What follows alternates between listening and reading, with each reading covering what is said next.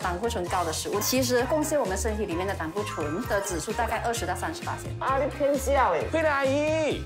如果我太快的转动的话，它是会导致你的血管缺血溢到你的脑部的。欢喜又健康，礼拜一到五二十八点半。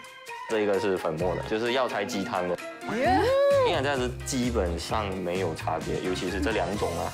What？礼拜二二十八点半，规则播出，Astro 欢喜台，Astro Go。